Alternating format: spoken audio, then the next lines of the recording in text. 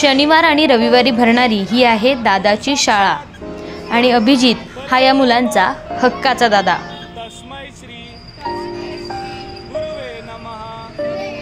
शिक्षणाचं माहेरघर असलेल्या पुण्यात शाळाबाह्य किंवा रस्त्यांवर विविध वस्तू विकणाऱ्या मुलांना एकत्रित येऊन शिकवण्याचं काम हा अभिजित करतोय.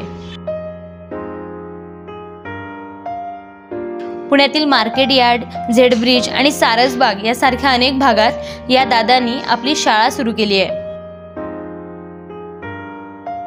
शिक्षण हा एक असा पर्याय आहे मुलांसाठी. त्यातून ते जण खूप पुढं जाऊ शकतात. आणि शिक्षण आलं तर बाकी सगळं आपोआप येतं मला असं वाटतं. माझं प माझ्या हिशोबाने. तर मी ही सुरुवात काही महिन्यांपूर्वी केली पुण्यामध्ये. तर आमच्या शाळेचं नाव आहे दादाची शाळा.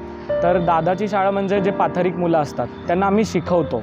त्यांना गुणवत्ता शिक्षण देण्याचं काम आम्ही करतो. जेणेकरून त्यांचं जे पुढचं आयुष्य आहे ते चांगलं जाईल. त्यांच्या आईवडिलांसारखं ते रस्त्यावर राहू नये तर चांगल्या घरात राहावेत. त्यांना चांगली लाईफ मिळावी त्यांना चांगलं रोजगार मिळावा ह्याच्यासाठी आम्ही प्रयत्नशील आहोत.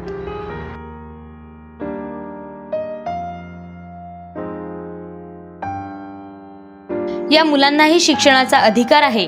मात्र परिस्थितीमुळं शिक्षणाकडे दुर्लक्ष होत आहे परिस्थितीशी दोन हात करत पालक उदरनिर्वाह करतात मात्र मुलांना शिक्षण देणं अवघड जातं. त्याच मुलांना शिक्षण देण्याचा विडा या तरुणानं उचलला आहे अभिजित हा पुण्याच्या अभिनव महाविद्यालयात बी सी एच्या शेवटच्या वर्षाचा विद्यार्थी आहे. शाळेत असलेल्या प्रत्येक मुलाला तो शिकवतच नाही तर त्यांच्या प्रत्येक हालचालींवर त्याचं बारीक लक्ष असतं. खरं तर मुलांचा शाळेमध्ये खूप चांगला रिस्पॉन्स आहे. बट कधी कधी प्रॉब्लेम्स येतो त्यांच्या आईवडिलांना समजावण्यासाठी. तर आईवडिलांचं कधी कधी असं एक स्टेट ऑफ माइंड बसलेला असतो की आमच्या मुलांना आम्ही का शिकायला पाठवू? आमचं आम्ही जे धंदा करतो आहे तोच आमचा मुलगा करणार. किंवा आम्ही चोरी करतो किंवा आमचा मुलगाही चोरी करणार. असं मला काही पॅरेंट्स लोकांनी सांगितलेलं आहे. तर आम त्यांचं काउन्सिलिंग करणं हा खूप महत्त्वाचा भाग आहे. त्यांना काउन्सिलिंग करून त्यांच्या मुलांना आमच्या संस शाळेमध्ये आणणं ही खूप महत्त्वाची गोष्ट आहे. आणि आता सध्या आमच्याकडे नाही म्हटलं तरी एक सिक्स्टी स्टुडंट्सचा काउंट झालेला आहे. आणि त्यातली एवढी हुशार मुलं आहेत एवढी हुशार मुलं आहेत तुम्ही विचारसुद्धा करू शकत नाही. कारण की त्या मुलांना जेव्हा आम्ही शिकवतो ते आम्हाला स्वतःलाच कळतं की ह्या मुलाला जर आपण शिकवलं तर तो किती पुढे जाईल. तर ह्या गोष्टी आम्हाला शिकवताना मुलांना लक्षात आल्या. ए फॉर आवाज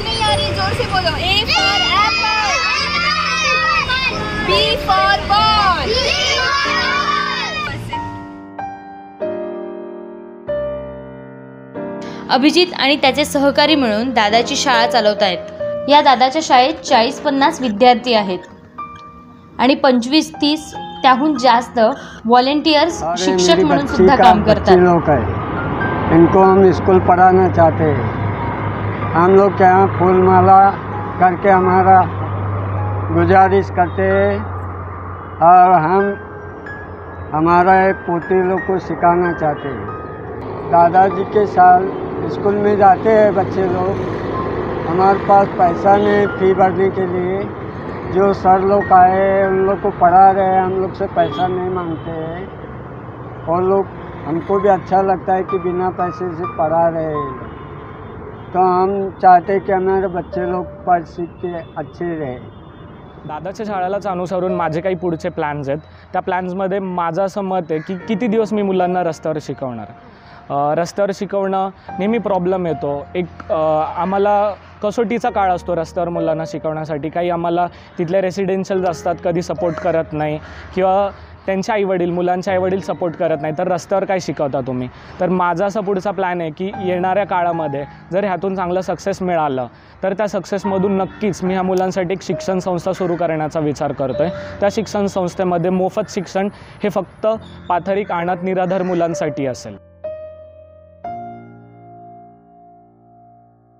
आपण शिकलो आपल्याला शिक्षण मिळालं आणि आपल्याच शिक्षणाचा उपयोग या सगळ्या विद्यार्थ्यांना व्हावा या मुलांना व्हावा त्यांचं भवितव्य उज्ज्वल व्हावं यासाठी ही सगळी तरुण मंडळी कार्यरत आहे